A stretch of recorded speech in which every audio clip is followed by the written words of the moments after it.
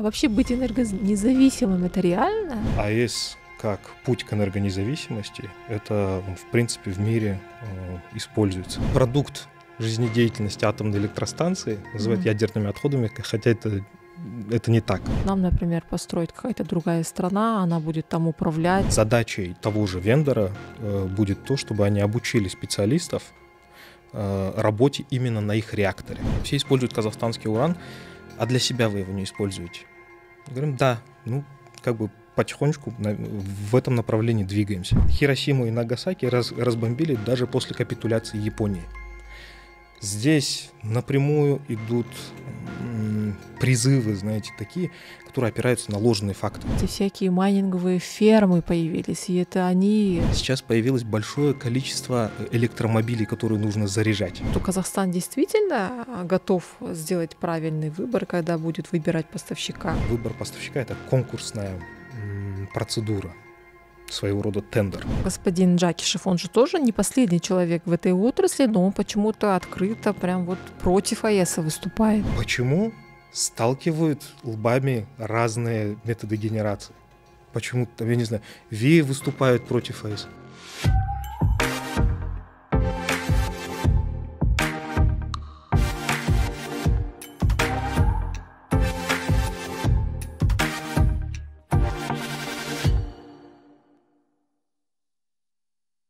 Друзья, а, мы продолжаем а, дискуссию вокруг атомной электростанции. Вы знаете, последние два года Улусмедиа ведет активное обсуждение по данной теме. Мы писали уже разных спикеров. Я писала, вот я помню, Осета Наурузбаева, который категорически против АЭС.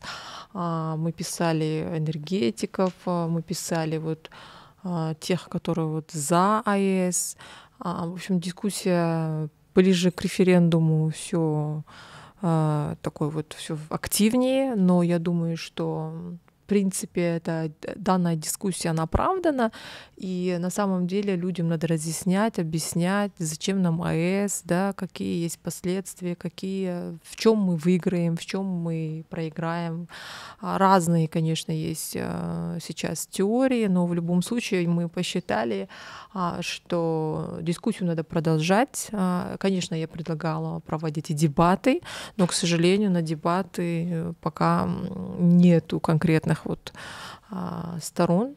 Но в любом случае я считаю, что хотя бы вот э, подкастами а, вот эту информацию давать. И сегодня я пригласила а, на запись вот председатель Ассоциации развития атомной индустрии Тухтаров Алдиар Нурланович, Алдиар Мурза. Добро пожаловать. Конечно, у всех свои интересы, у всех свои взгляды. Конечно, мне бы уже больше хотелось бы, чтобы мы говорили уже более детально, более конструктивно, да, вот этих без всяких разных эмоционально составляющих моментов. А, вот э, потом, поэтому я хочу, чтобы вы сегодня меня убедили, да, потому что я тоже не раз выступала там против АЭС, даже не сколько против АЭС, а сколько вот у всех есть большой страх, что это может оказаться завтра Росатом. АЭС это вот как минимум на век, да, это на примерно на 90 на 100 лет же работает АЭС, да, и да, поэтому да. Не, не хочется ни от кого зависеть, при этом хочется и в энергетике ни от кого зависеть, да, и при этом и от России мы не хотим зависеть, мы хотим вот а, как-то вот, э, как мы говорим, свой путь. И э, может ли быть АЭС э, вот тем самым решением, как вы думаете? И вообще, в чем ваша уверенность в том, что вот, а, вот это вот АЭС сейчас вот нам нужно? Давайте постараемся по вашему заданию э, поговорить, постараемся и вас убедить, и, возможно, в принципе, рассказать просто о преимуществах. Э, вопрос действительно, который стоит обсуждать, и спасибо за приглашение. Э, начать с того, что зачем АЭС, то вопрос стоит, ну, наверное, несколько здесь есть векторов. То есть мы много говорим про нашу энергонезависимость, про энергодефицит, который у нас формируется. А вообще быть энергонезависимым это реально?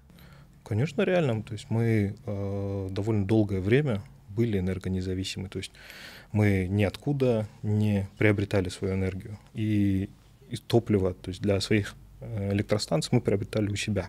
внутри Казахстана. АЭС как путь к энергонезависимости, это он, в принципе в мире э, используется как один из основных источников генерации, который обеспечивает эту энергонезависимость. Также, э, если говорить не только про электроэнергетику, есть там вопросы производства чистой энергии, mm-hmm. то есть той посредством которой не будут в дальнейшем накладываться дополнительные налоги, если казахстанская продукция будет уходить, там, скажем, в Европу.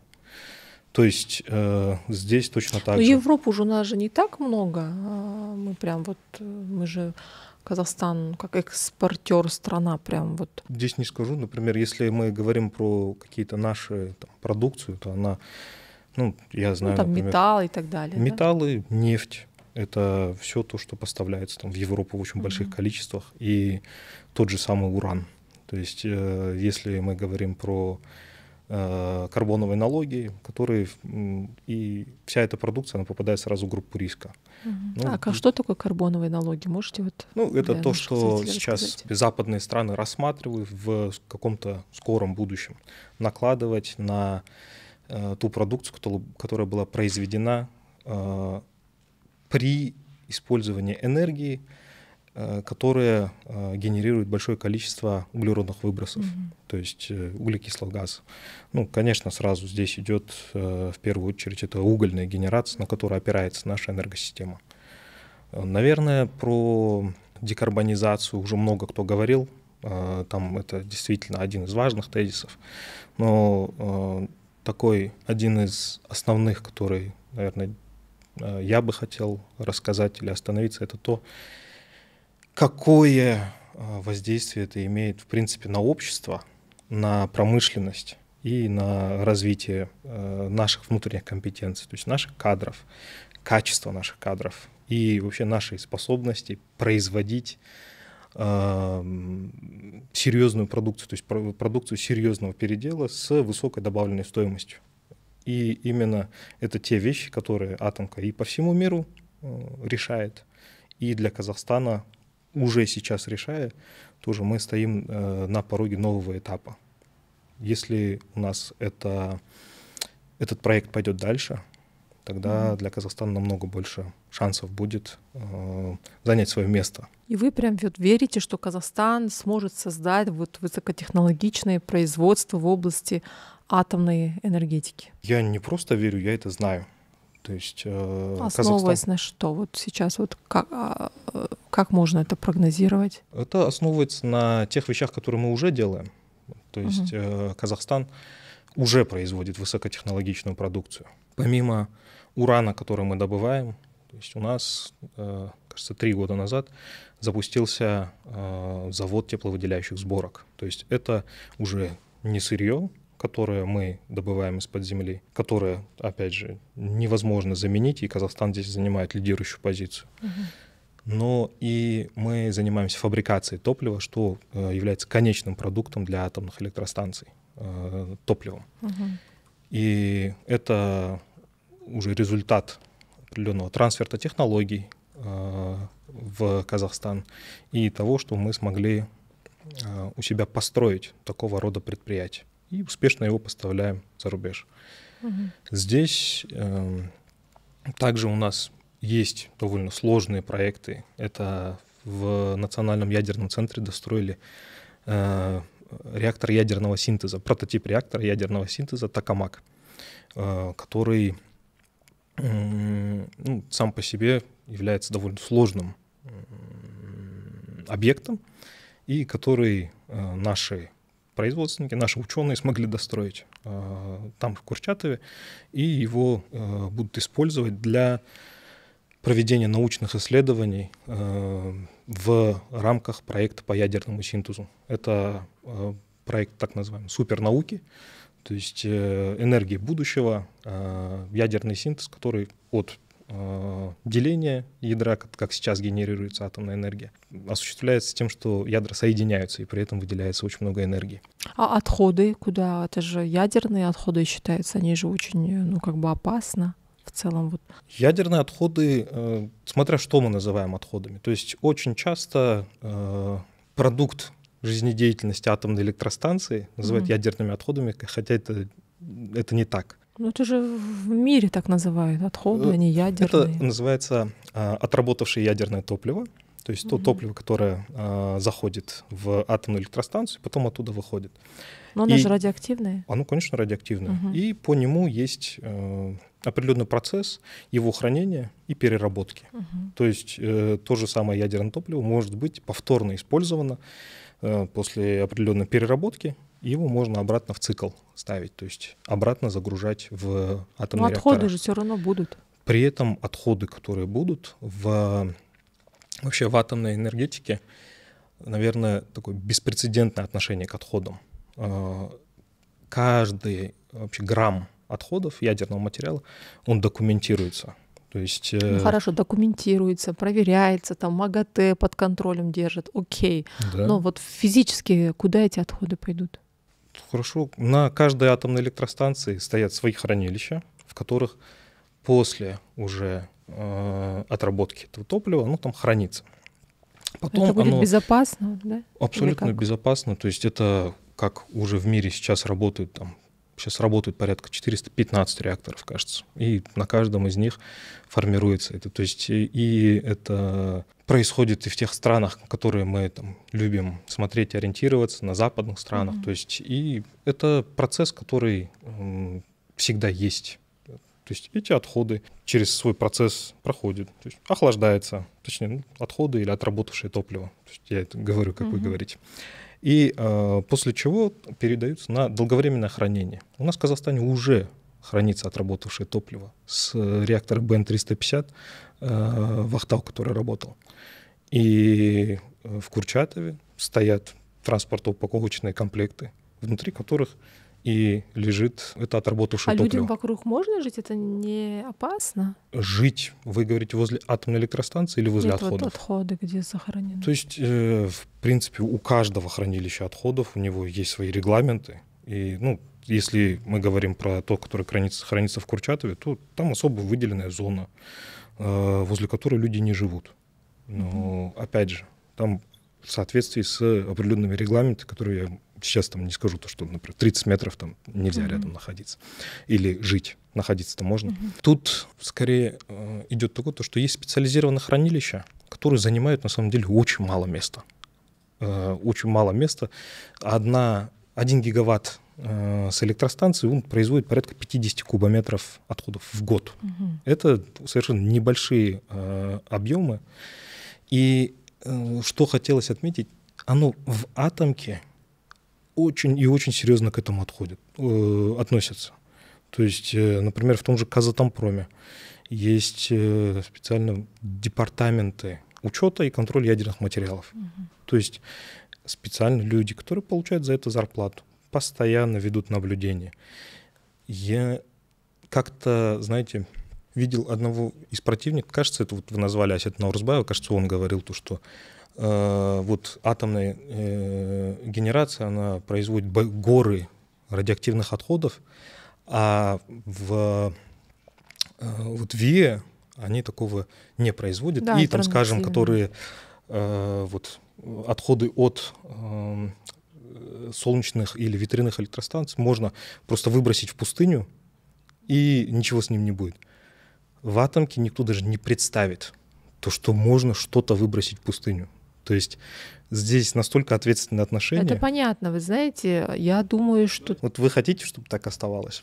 Чтобы мы вот ничего, чтобы так было ну, бардаки наверное, или раздолбайстве должно быть все какая-то последовательность должна быть. Хорошо. А чем мы это можем, э, как мы можем к этому прийти? А, ну вот я у вас спрашиваю. Давайте, я могу ответить. Да. На Я вот сейчас э, говорил то, что в с работой с отходами э, она ведется очень ответственно. И это, в принципе, качество как бы не просто всей мировой атомной энергетики. В Казахстане то же самое. Те предприятия, Казатомпрома, э, очень серьезно относятся как к стандартам безопасности, как и вообще к регламентам, к любым. И там их соблюдают как закон. То есть у нас уже есть предприятия, на которых места там раздолбайству или места вот такой э, бардаку нету. И через что мы можем прийти к вообще в принципе к в обществе, чтобы было там, скажем, неприятие такого, как не через атомку. Потому что у нас уже успешно это функционирует, и это на мировом уровне оно соблюдается. Давайте тогда пример другой приведем, если не про Казахстан, а про другие страны, где успешно функционирует атомная энергетика. Это Аргентина. Мне очень нравится этот пример. То, что... Э, ну, в Аргентине тоже АЭС, да? В Аргентине очень серьезно развита своя ядерная программа. Там свои АЭС. Э, работает так 2, А Аргентине кто строит АЭС? Аргентинцы э, изначально у них э, были по немецкой технологии, по канадской, но потом они еще сами строили. Угу. Вот представьте то, что мы, в принципе, знаете, ментально очень много схожего у нас есть, как вы сейчас назвали, там, и какая-то безалаберность, и коррупция. И ну, я тоже не вчера родился, то, что и в Казахстане как бы довольно много поработал, то есть и со многими вещами сталкивался. Там аналогично. Сейчас у них там довольно серьезные экономические проблемы, но то, что говорят сами аргентинцы, они говорят, нам атомка очень сильно помогает, во-первых, потому что она поставляет кадры, которые развиваются, скажем, не только в атомке, но и в других отраслях, которые несут те принципы и ценности, которые в атомке приобрели. И, ну, опять же, очень много схожего у нас. Мы, я не знаю, мясо любим есть. По территории они восьмые, мы девятые. И э, здесь э, уже есть успешный кейс такой не мировой супердержавы, развивающейся страны, как Казахстан, с очень большой территорией, которая свои технологии разрабатывает. Они разрабатывают сейчас, э, точнее строят малый модульный реактор. То есть это вообще ну, новое Кстати, сейчас говорят, вот многие на маломодульные переходят, даже Америка на... Америка очень много денег инвестирует в маломодульные А почему мы э, не можем маломодульные построить? Здесь, знаете, есть э, ну, э, много факторов. Для Казахстана они, конечно, хорошо подходят. То, что у нас большая территория, угу. и их можно разместить в разных местах. Я очень надеюсь, то, что развитие ядерной программы в Казахстане, оно на следующую ступень пойдет, может быть, к маломодульным реакторам. У нас есть один принцип. Ну раз э, весь мир уже на маломодульный переходит, вот это современное последнее. Он еще не это... переходит, видите? Ну, Америка Они разрабатываются переходит. технологии, угу. но еще нету. Э, вот есть э, плавучие электростанции и в Китае, там, скажем, есть. Но у нас есть принцип такой референтности, то есть те э, технологии, которые уже в мире работают то есть те реактора. Угу. И сейчас мы рассматриваем поэтому крупный реактор, то есть э, крупную атомную электростанцию э, более традиционного вида. Э, по малым модульным, это, наверное, знаете, я люблю очень эту тему, и по ней можно очень долго разговаривать, там очень много интересных моментов и по самому, э, по самим реакторам, по их там системам безопасности, по топливу, которое в них используется. Это действительно очень многие прикладывают туда усилия. Я бы хотел, то, чтобы Казахстан сам включился в mm-hmm. развитие этих технологий. Но видите, кто их разрабатывает? Те, у которых уже есть большие реактора. Те, у которых есть опыт работы на этих больших реакторах. И э, здесь целый кластер развивается э, из-за того, что есть такой крупный проект, Угу. А у нас будет этот кластер развиваться? Мы же не будем сами строить. Нам, например, построит какая-то другая страна, она будет там управлять. Те же нам, например, обещают, вот а, тысячу рабочих мест будет создано. Даже нету гарантии, что это будут наши казахи, да, вдруг это будут опять иностранцы. Это, я думаю, хороший вопрос, на который стоит развернуто ответить. Да, ну то есть если, э, ну конечно, это классно звучит, вы когда говорите, вот там, а там а, атомную там отрасль как кластер развивать, там кадры выращивать. Это все звучит очень круто, но на самом деле как это будет выглядеть? Давайте сначала тогда начнем. Uh-huh. То, что вы задали вопрос про кластер. Да. Кластер у нас уже есть. А, он из себя представляет добычу урана, он из себя представляет фабрикацию топлива, он из себя представляет научную деятельность. А, там, Национальный ядерный центр, который проводит научные исследования, mm-hmm. и довольно серьезные. То есть они для тех же японцев там делают исследования, для там, проекта по Фукусиме. Есть Институт ядерной физики, который не только наукой или обучением занимается, он еще и производит медицинские продукты, то есть э, радиофармпрепараты, изотоп, которые э, используются для диагностики и лечения рака, например.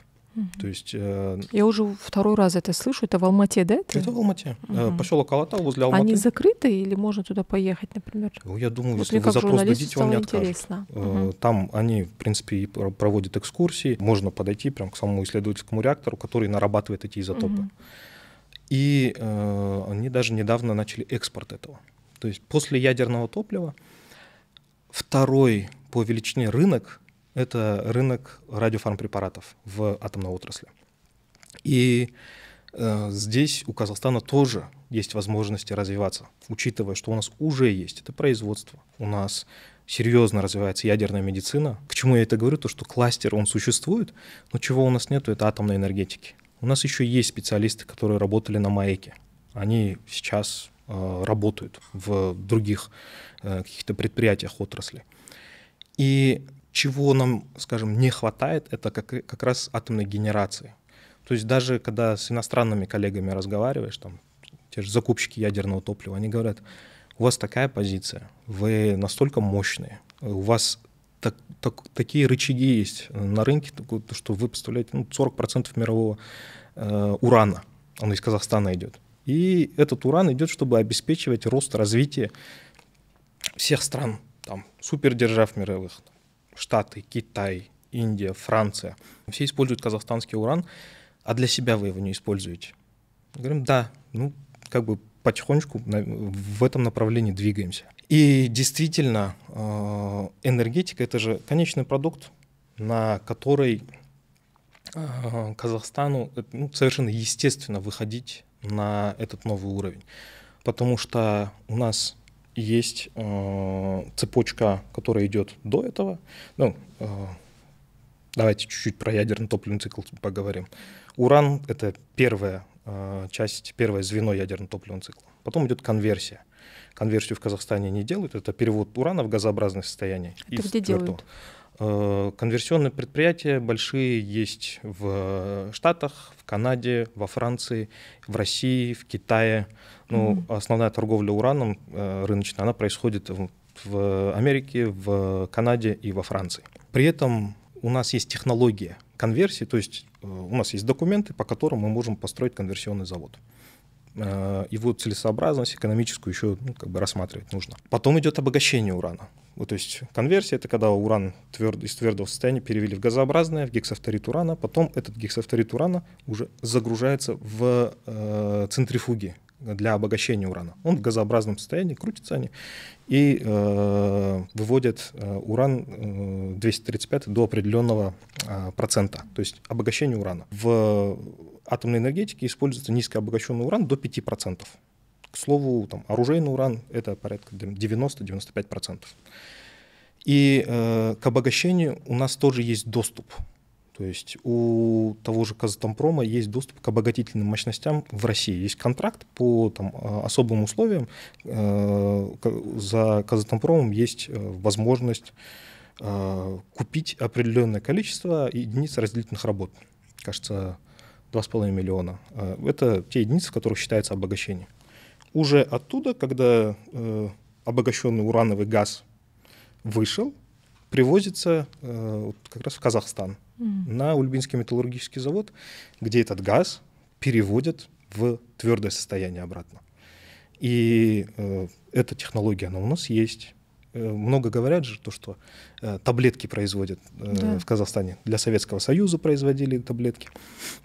А вот как раз на этом заводе у нас есть такие возможности обратно газ переводит в металл, э, точнее э, в твердое состояние, из него формируют таблетки, и эти таблетки как раз переходят в конечную свою форму в тепловыделяющей сборке. Mm-hmm. То есть их собирают, в трубки засовывают, эти трубки в решетки ставят, и потом это загружается в реактор. То есть в Казахстане это все есть. У нас есть возможность, то есть сильная позиция того, чтобы мы еще сильнее развились. В мире многие страны, э, которые вообще не имеют никакого отношения к атомной сфере, они развиваются. Там, в Турции, у Турции ничего не было.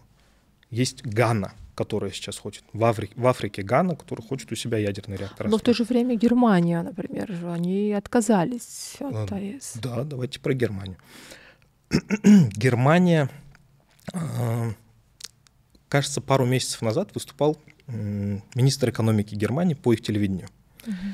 И он по, своим, по их телевидению сказал, да, отказ от атомной генерации за который я был в свое время, был продиктован чисто политическими причинами и не имел под собой каких-то э, соображений безопасности или экономических соображений. Ну, Меркель же говорила, это наоборот после Фукусимы принятые решения. Партия зеленых в свое время она провела это, и вот недавно как бы их там спикер высокого уровня это подтвердил. Угу.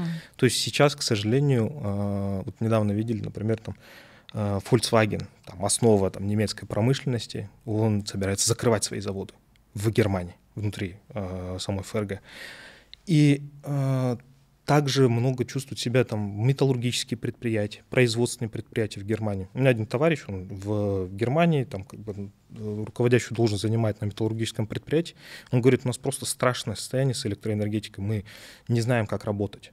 То есть э, она, во-первых, нестабильна, эта цена. Во-вторых, она вырастает. Угу. И то есть, он, когда отказались, она очень серьезно выросла. И сейчас зависит от поставок газа, а газ торгуется по э, спотовым ценам, то есть он очень э, волатильный, меняется цена на него э, за короткий период.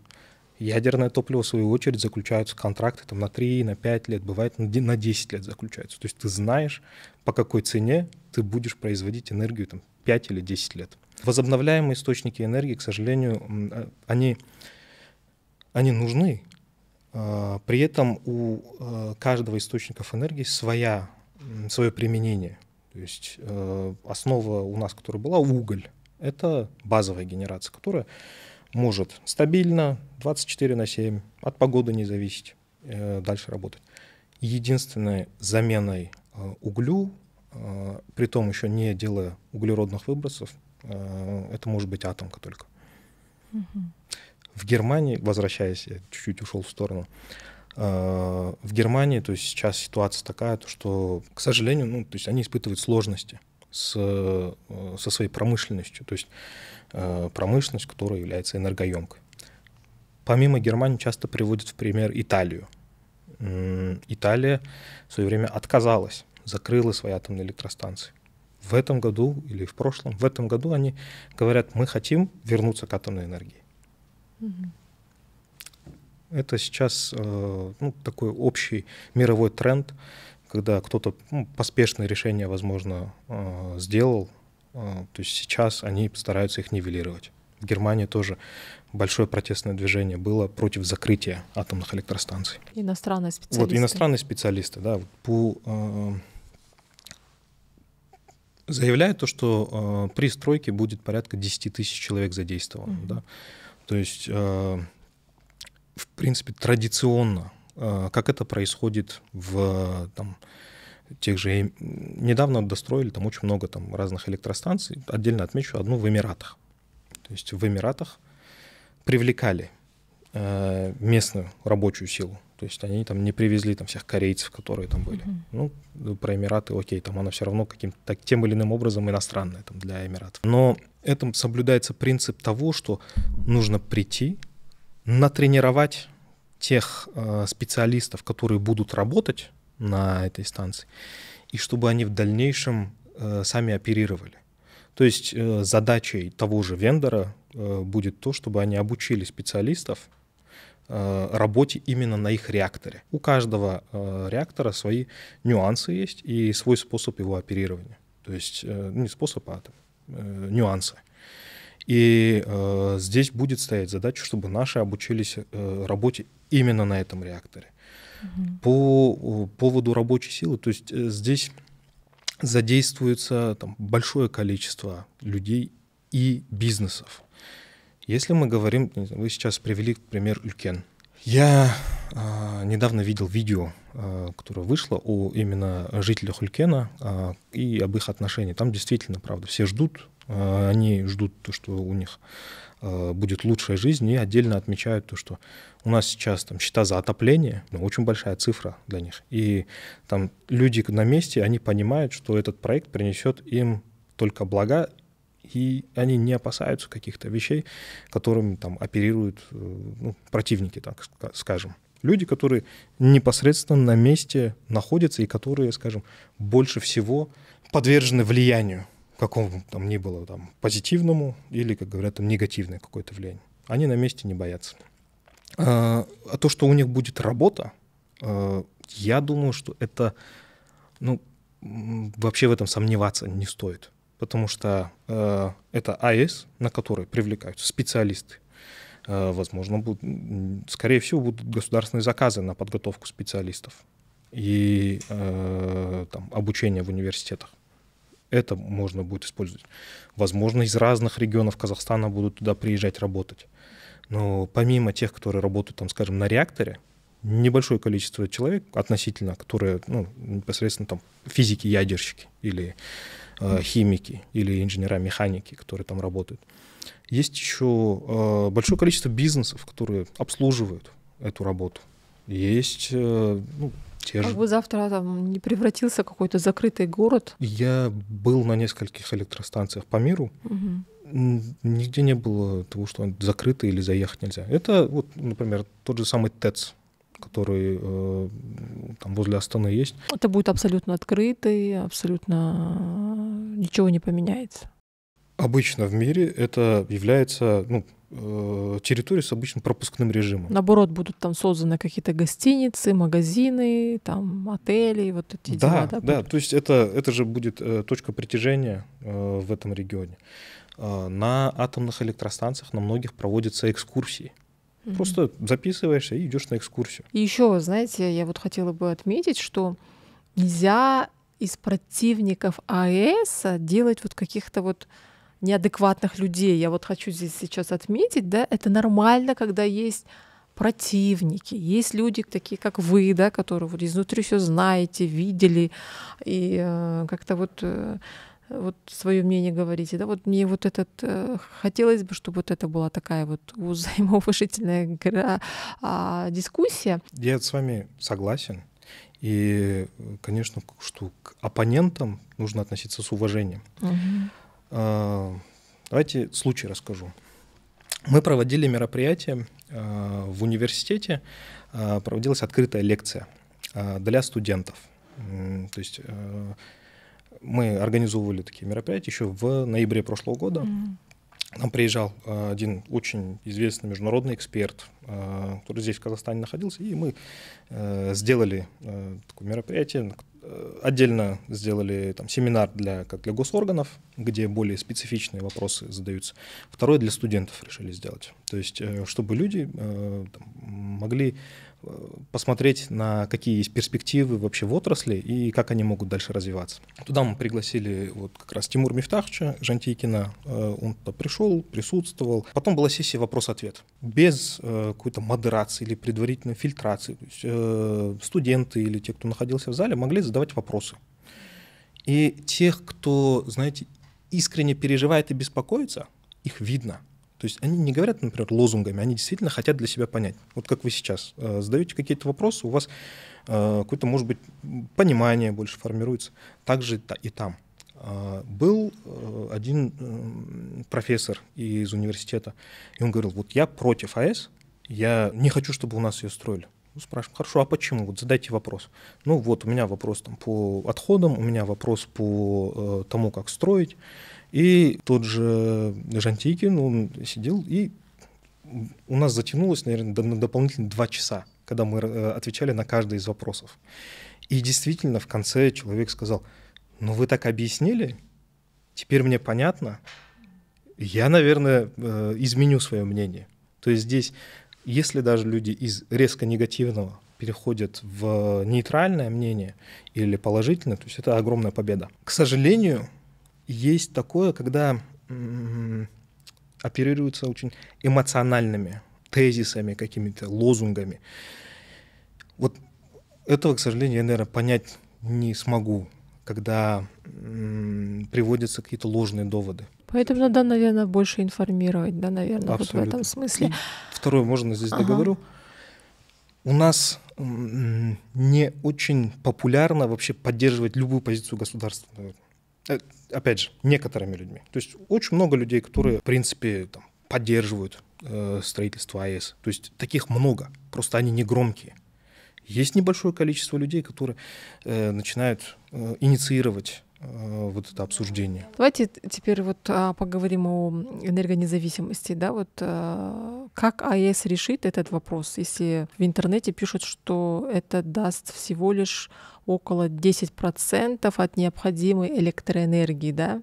Одна электростанция. Одна электростанция. Одна электростанция только.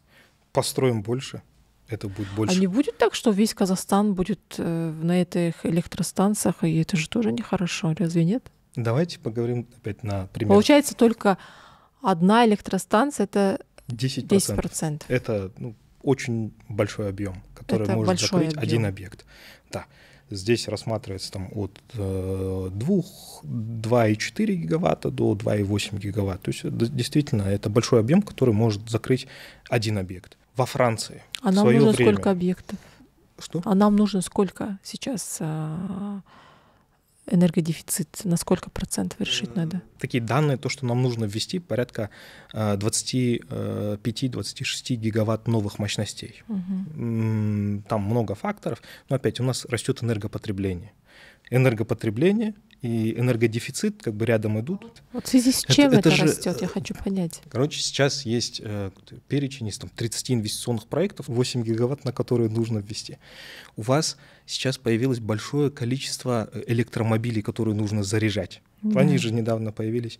И э, на, они тоже увеличивают энергопотребление. Мгм. У вас, ну, например, там где-то в бедных странах, там, ну, то есть телевизора нету там дома, там, то есть у них энергопотребление маленькое, а у нас, пожалуйста, там у тебя, ну, я не знаю, телевизор, холодильник, там все вот эти э, э, приборы, они все потребляют электроэнергию. То, что энергопотребление растет, это значит, означает рост экономики в целом. Я э, вам э, могу рассказать такой опыт, э, который был там в других странах Мгм. успешный, который я знаю просто.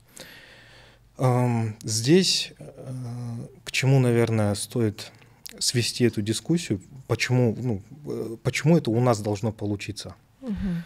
Потому что как раз те факторы, которые у нас существуют в атомке, я бы, наверное, эм, не сравнивал их с другими отраслями.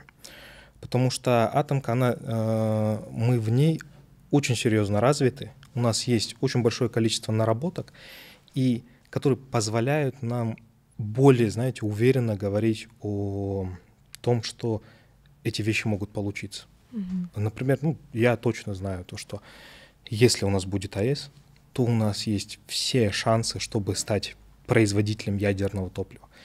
И это ядерное топливо э, вообще м, поставлять уже дальше, развивать свои компетенции и дальше поставлять. Мгм. Я уверен, потому что я видел очень много э, там, статистики какой-то, которая не только из мировых там супердержав идет, а ну, с таких стран, как Аргентина даже, которая показывает, что э, вот ты начал с чего-то малого относительно, э, и потом ты уже развиваешь свою внутреннюю компетенцию. То есть здесь, конечно, нужно быть осторожным, но бояться не нужно. То есть э, с осторожностью, аккуратно подходить, свои э, позиции отстаивать в том, чтобы э, ну, какие-то наилучшие условия для себя выделить. Мгм. Но опять же, если мы здесь будем бояться, тогда в каких других отраслях мы это сможем сделать? Это 10% необходимой электроэнергии нам дает одна электростанция. Так. Да? Получается, нам а, нужно несколько электростанций. Абсолютно точно. Говорили о двух электростанциях, да, вроде бы, да? Два реактора на одной атом- атомной электростанции.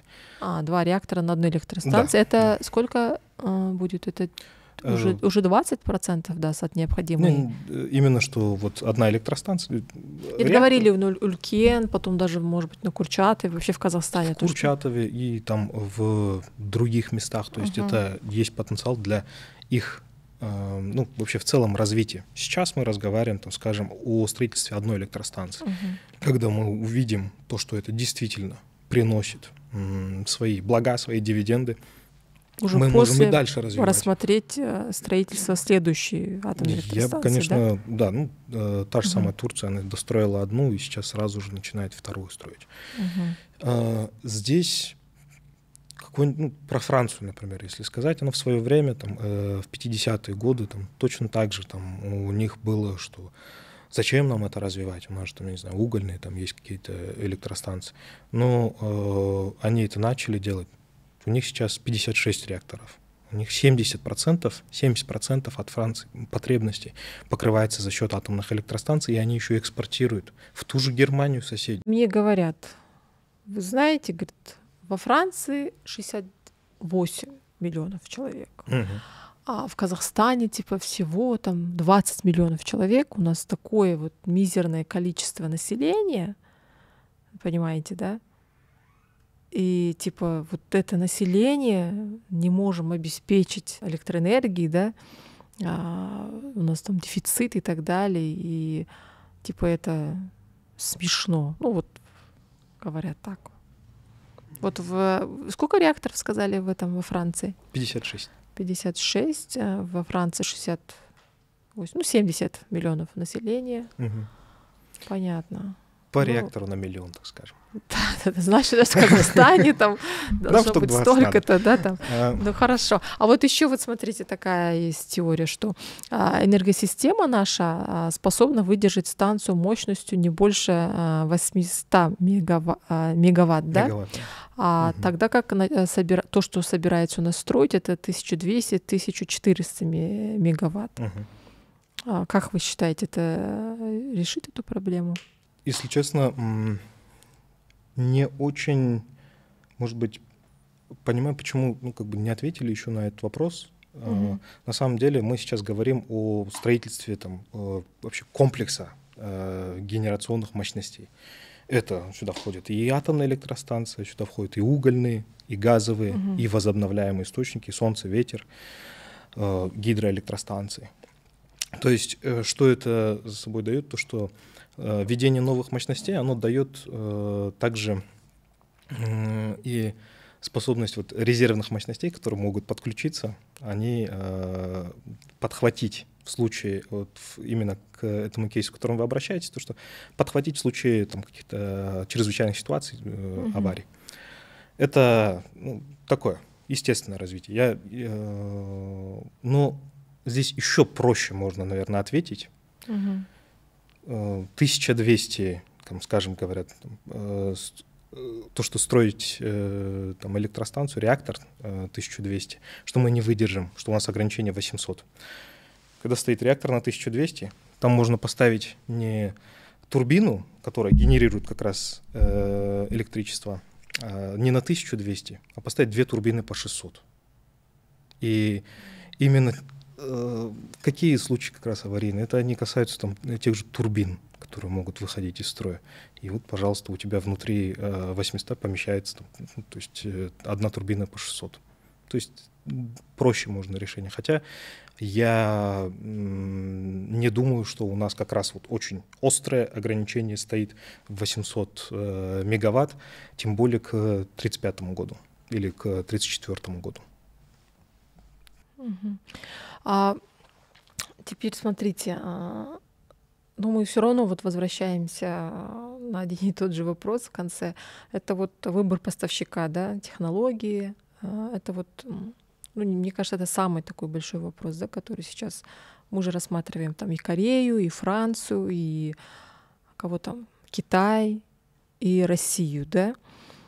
А как вы думаете, э, вот сейчас нашими вот реальными возможностями, вы думаете, что Казахстан действительно а, готов сделать правильный выбор, когда будет выбирать поставщика, да, или который продаст нам этот реактор, да, и, или и снова не будет ли, что мы снова будем э, зависеть от этих внешних игроков? То есть мы здесь хотим решить энергодефицит, да, а кажется, что мы завтра на один век, на сто лет будем зависеть э, от одного там поставщика. Поставщика да? технологий.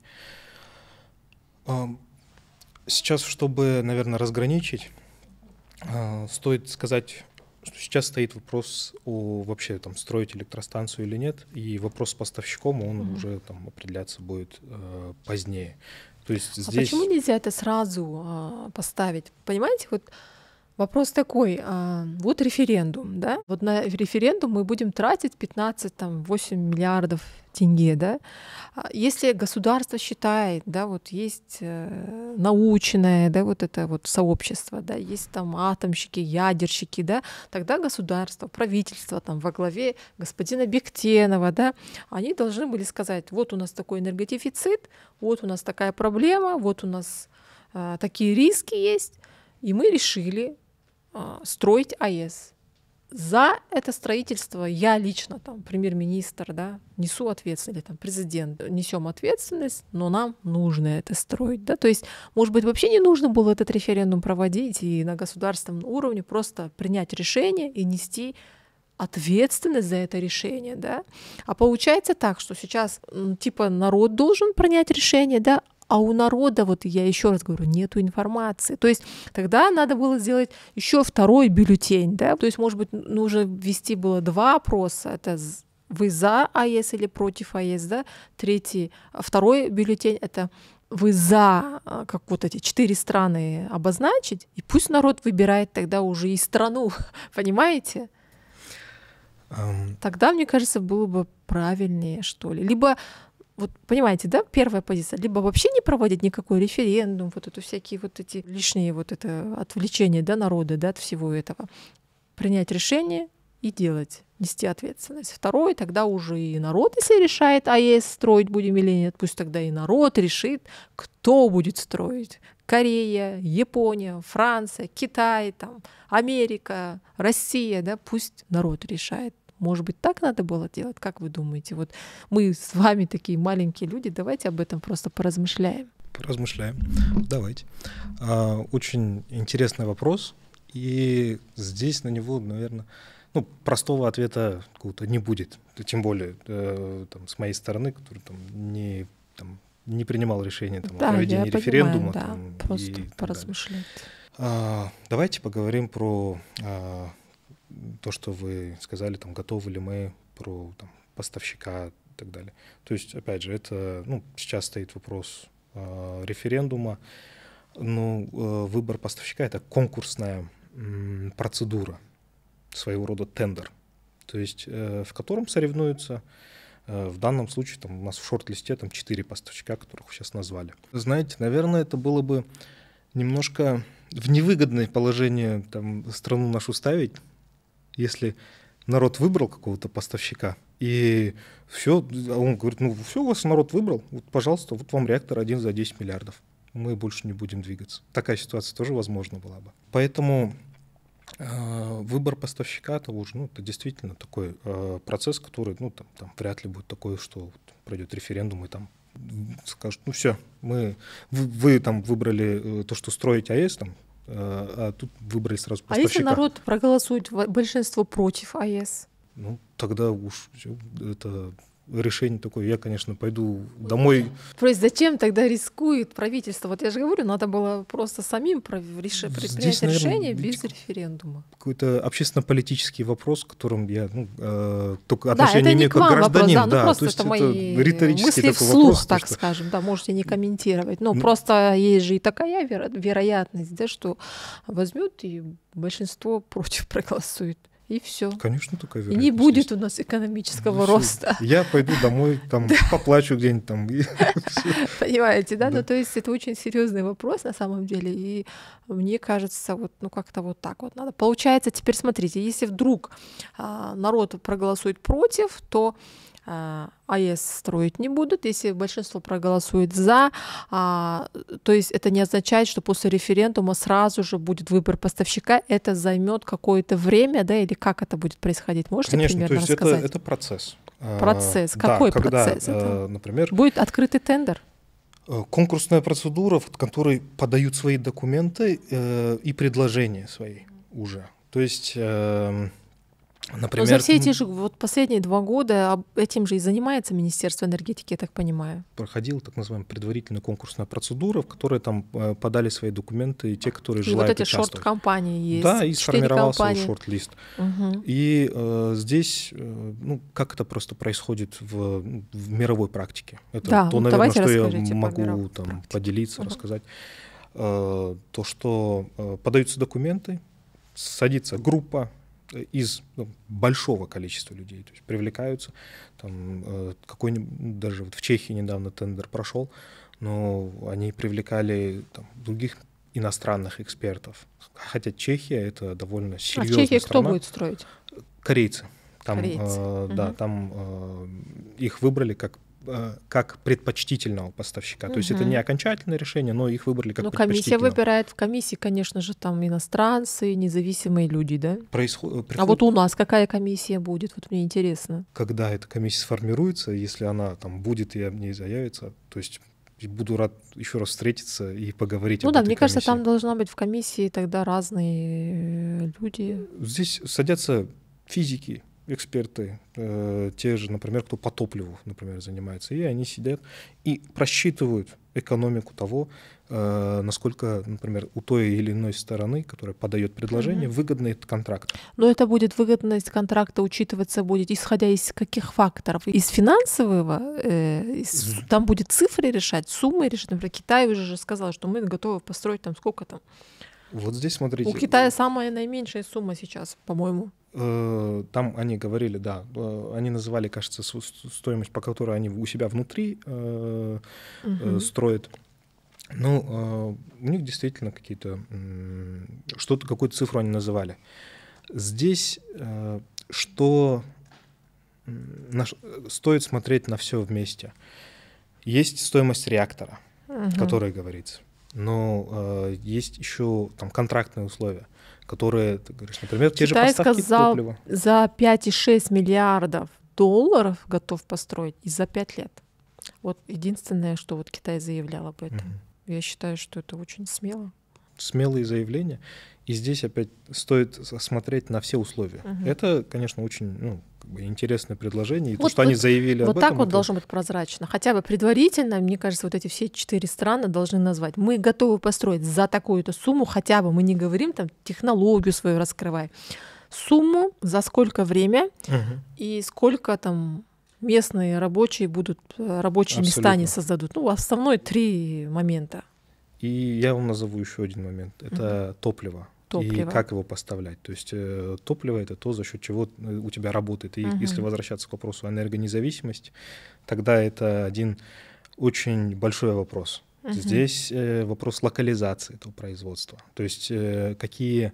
Вы же сейчас сами мне говорили, то, что, ну, э, что все нам привезут откуда-то.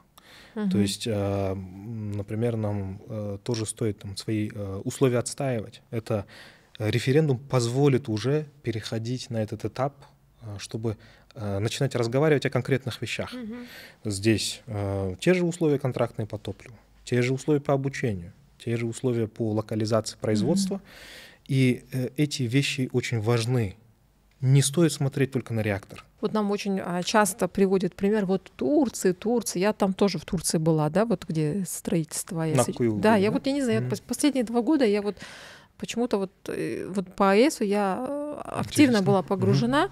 И а, вот я была вот в этом, где строится, да, но там, извините меня, во-первых, а, где строит Росатом, а, там, например, а, без знания турецкого языка никто не имеет права работать. Это первое. Второе, ай, второе. а, Там государственные служащие, да, вот госслужащие, которые вот в этой энергетике, в атомной работают, они очень, очень жестко работают с Росатомом, да, то есть они там с ними э, на таких жестких ТЗ у них четкое. То есть вот это я вот это увидела, да, я думаю, это все должно быть опубликовано, все должно быть четко там регламентировано, а техническое задание должно быть четкое, да, поэтому а, вот этот момент очень важный. И вот в таких моментах наши должны, вот наш национальный интерес, да, это же и вопрос безопасности, и вопрос там, а, ну, очень такие, да, моменты есть.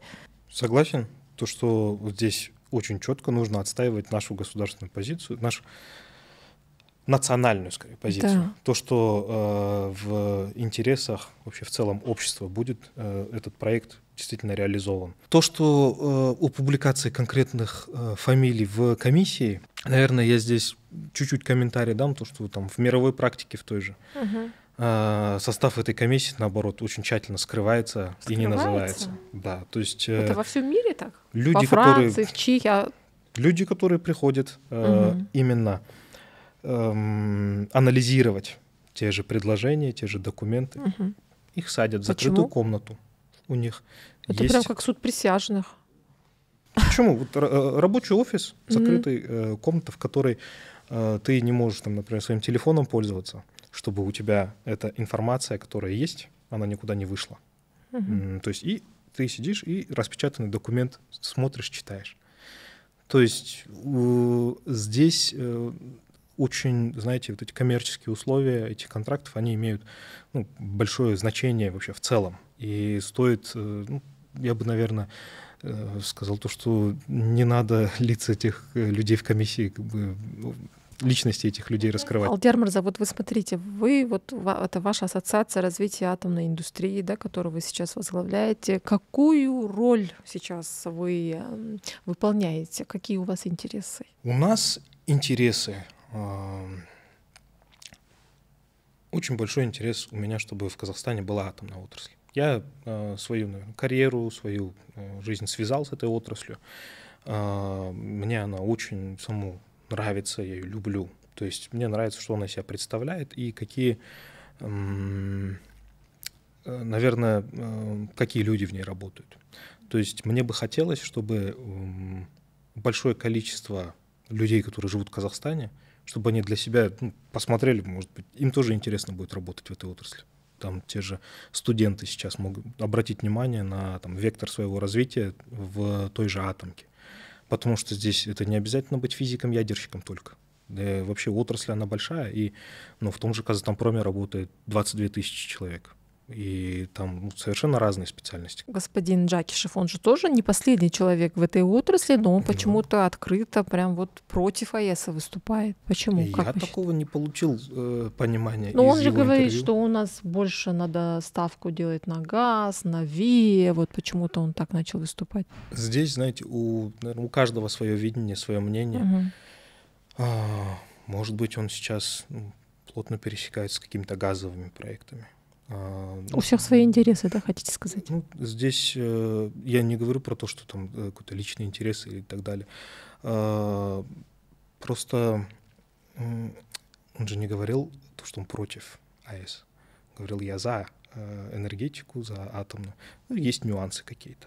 Mm-hmm. То есть, э, если там, помню, там решение вопроса энергодефицита, э, как бы его ну, там стоит решать там, э, разными способами, там, включая угу. газ. Да, э, сейчас... вот энергодефицит это та вещь, которую действительно нужно э, решать комплексно, что э, как бы и предлагается.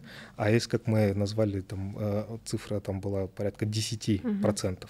И здесь э, такой момент, почему сталкивают лбами разные методы генерации?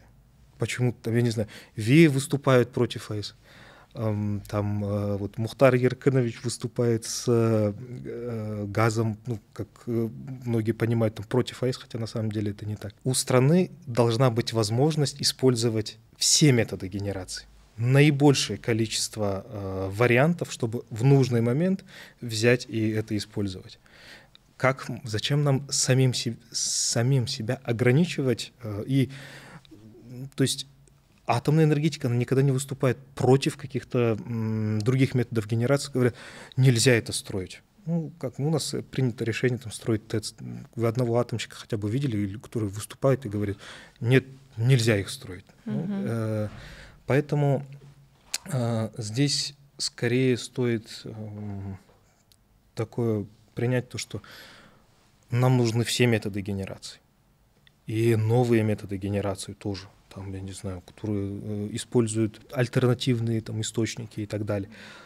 Атомная э, энергетика, она э, как стабильная работает во всем мире, и она покрывает энергодефициты. И она э, осуществляет мультипликативный эффект. И здесь именно вся красота в комплексе вот этих факторов. То, что мы очень много можем сами здесь сделать. То, что у нас уже это все есть, и то, что мы готовы к атомной энергетике. Атомная энергетика у нас так или иначе она будет, угу. даже если на референдуме скажут нет. Почему? Потому что ее развивает э, Китай, ее развивает Россия, ее развивает Узбекистан, соседние с нами страны ее развивают, и в случае, если у нас будет энергодефицит, мы откуда будем ее получать? Из соседних стран. То есть, но уже не по цене, которую мы у себя генерируем, а по рыночной цене. Угу. Ну, то есть заработать на нас хорошо будет и, да, да, и так абсолютно. далее. Хорошо, Алдияр Мурза, Рахмет за интервью. А, я вижу, что когда я говорю там уран, у вас прям глаза горят, э, видно, что вы из этой отрасли в теме. И, ну, естественно, я должна была эти вопросы задать. Э, это отходы, это безопасность, это касательно России, касательно рабочих мест, да, иностранцы, не иностранцы, сумма, не сумма, прозрачность. А, Рахмет а, за ответы данные вопросы. А, друзья, мы продолжаем освещать тему АЭС. А, сегодня вот у нас был спикер, который вот в принципе ответил, наверное, на те вопросы, которые появились вот в предыдущих нашем подкасте. Мы следующий подкаст будем уже писать в Алмате. Там в Алмате есть у нас тоже ядерщики, физики, противники АЭС. Поэтому а, мы будем стараться давать э, ответы на максимально а, вопрос на все вопросы, которые вот возникают у наших читателей. Читайте, а, подписывайтесь. Э, текстовый вариант сегодняшнего подкаста читайте у нас на сайте, а, вот видео, аудиоверсия будет у нашем а, канале. Рахмет, сау болыңыздар. Сізге рахмет, самал.